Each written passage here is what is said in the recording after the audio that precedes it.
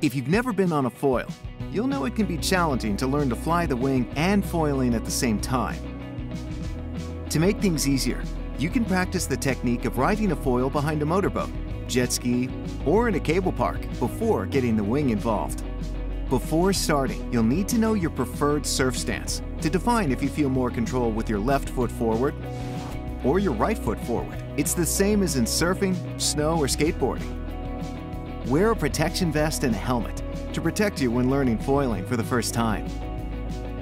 At the beginning, use a board with lots of volume and a medium to larger size foil for speedier success.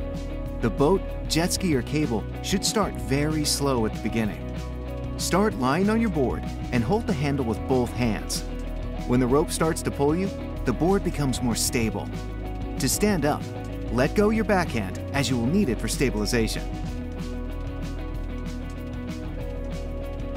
First, place your front foot directly over the center line of the board and quite far forward on the deck pad. Then position your back foot on the rear part of the deck pad to stand up in a wide stance.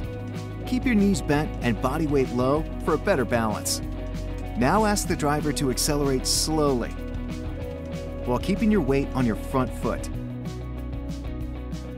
To get the board out of the water, carefully shift your weight onto the back foot for a short moment.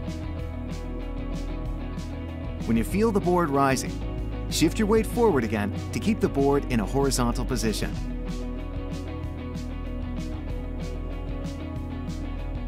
By shifting the weight carefully to the front foot, you will direct the nose of the board down to the surface.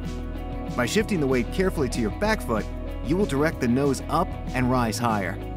Try to balance so the board stays in a constant altitude. You're going to fall off a couple of times before you'll learn how to control the foil.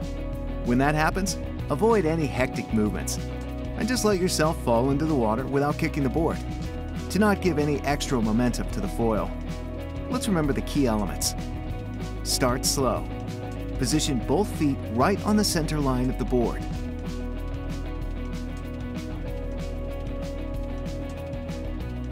Shift your weight between front foot and back foot to start rising balance to keep the board flying in a constant altitude.